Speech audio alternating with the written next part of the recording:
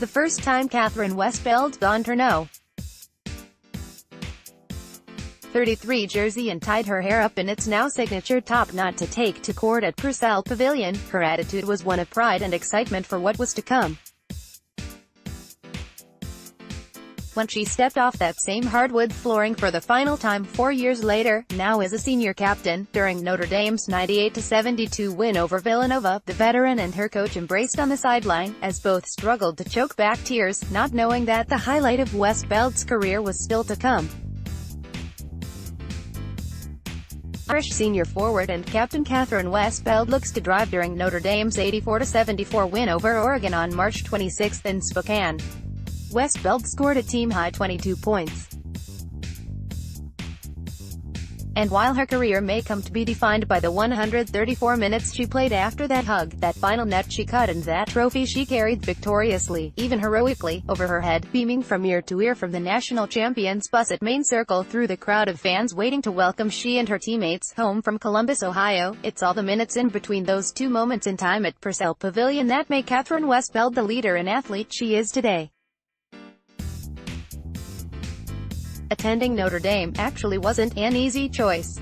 It was probably one of the hardest decisions I've made to date. Looking back now, it obviously is one of the best decisions I've made in my life. Westbeld said. My other top school was Ohio State. Being from Kettering, Ohio, I had a lot of friends who were going to Ohio State. Dot dot. I just kind of asked myself why wouldn't I choose Notre Dame, and I just remember I couldn't really answer that question, but I could answer that question for any other school that I had chosen. It never really put a limit on anything that I could do, whether it was something I wanted to do with my career or even basketball. Once Westbeld had made her mind up about where she would be going to school, there was no looking back for the former Irish forward. She began to make an impact her freshman year, seeing significant playing time against South Carolina in the Final Four and taking the court against UConn in the national championship game, playing time that would prove extremely valuable when the Irish returned to the same position for the first time since Westbeld's freshman year this spring. Irish head coach Muffet McGraw described her as the glue of the team, due to her selflessness on the court. She was always looking to help everyone else, McGraw said. What do I have to do to help us win? I don't care if it means points. It doesn't matter what it is. Selflessness has not exactly proven costly for Westbeld's career totals either. She joined the 1,000-point club in February, scoring her 1,000th career point against Virginia Tech and finishing her Notre Dame career with 1,076 points. Her senior season, she shot 59.2% from the floor, good for second in the ACC, and finished her career with 731 rebounds. What makes those totals more impressive, however, is the circumstances under which the Ohio native achieved them. Throughout her junior and senior seasons, Westbeld battled through injuries, often playing in games without practicing. As a junior, Westbeld injured her ankle midway through the season and sat out a number of games. She was unable to practice and played limited game minutes until she was able to have surgery when the season ended. This season, she took a finger to the eye against North Carolina on Feb. 1, leaving it swollen shut. She played on, however, then, in the first round of the 2018 NCAA tournament against CSUN, Westbeld went down with a sprained ankle, her good ankle, in the game's third minutes. She did not play the first half of the second round game against Villanova, but coming in after halftime, proved once again, to be that glue the team needed to survive and advance, and went on to contribute well over 30 minutes in each preceding game. I've always, for one, just loved the game and just loved competing and I think that even with injuries, I don't want anything to hold me back. Westbeld said of her ability to play through pain. And I just think I'm the type of player that my teammates know they can count on me. I'm going to give my all regardless of what's standing in front of me. So, I really just think I can have my teammates and coaches, and everyone in the back of my head while I was playing through those injuries and playing through pain, and you know, just doing whatever I could to help my team, regardless of if I couldn't practice or if I was on the sidelines. Watching, I was making sure I was contributing in any way I could, whether I was talking to them or using my voice and sharing my experience with them. Putting the team above herself is something Westbeld had to do as a senior more than ever, throughout Notre Dame's run to its national title. As the Irish roster took hit after hit and lost player after player, Westbeld was called on each day as the team's leader and captain to maintain a sense of calm and focus. Obviously, with senior forward Brianna Turner out, I knew I was going to have to step up and score more points and do a lot more, kind of fill up the stat sheet a lot, but in terms of kind of being a leader, I had multiple meetings with Coach McGraw about me just being more vocal, she said. I've always been more of a lead-by-example leader and so this year, coach really tried to push me out of my comfort zone and kind of step up and speak more and use my voice and kind of lead our younger team to the national championship because of who was on the court. I was the only one who had been in that situation before, been to the Final Four, well, graduate student forward Kristina Nelson has as well, but, you know, I was. The only one who had played in the national championship before, so I was just trying to use my experience to just kind of push through, especially with the adversity that we had.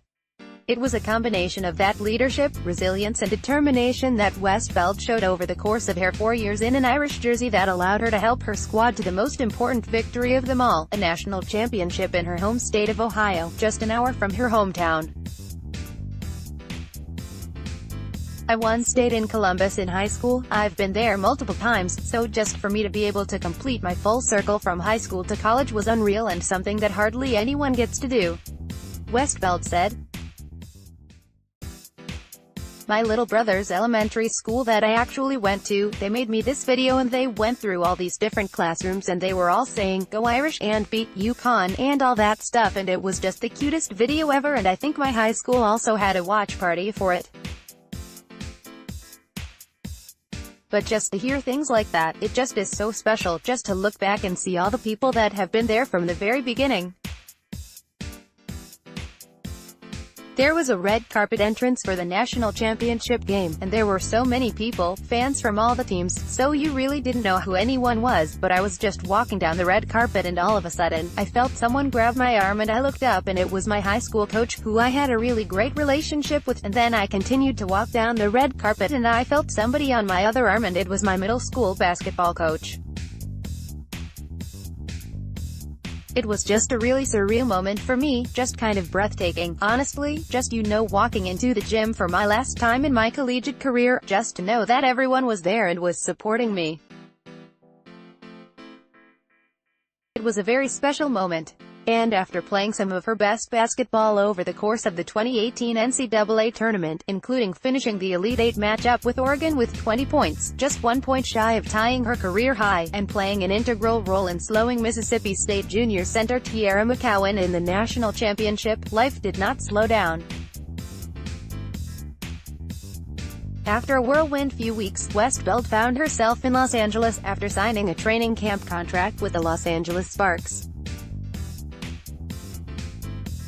It was such a quick turnaround because after our season ended, the draft was like in a week and a half and you have to do all this stuff, you have to find an agent, and do all this and I was so behind on all that because I really wasn't thinking about any of that, obviously while we were playing and so I was kind of behind after the season and just kind of wanted to take a breath.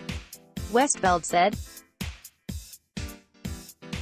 So, the draft came around, I didn't get drafted, I wasn't getting picked up because I still didn't have an agent and then just to have them call, I remember I was in the basketball office and they called.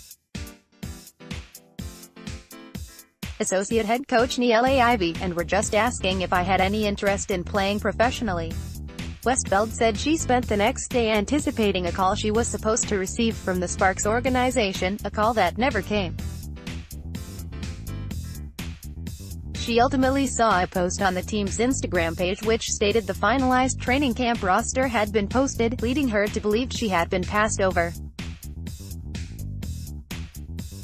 Literally 10 minutes later, Neela, our associate head coach called me and was like, they want you. I was like, are you kidding me?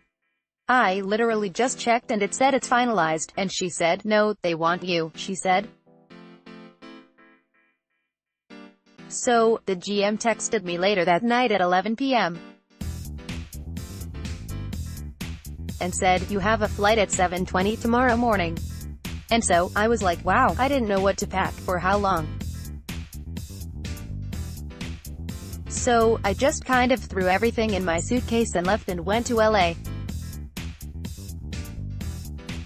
I didn't really have time to think about it, process it and right when I got off the plane, I got my physical and went straight to the gym and started playing.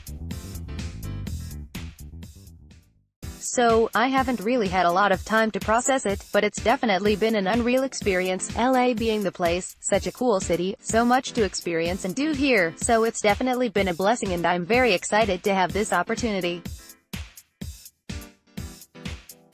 Hopefully things turn out in my favor and I make the team and get to play another season here. Kathryn Westbeld has played 3,090 minutes in a Notre Dame jersey.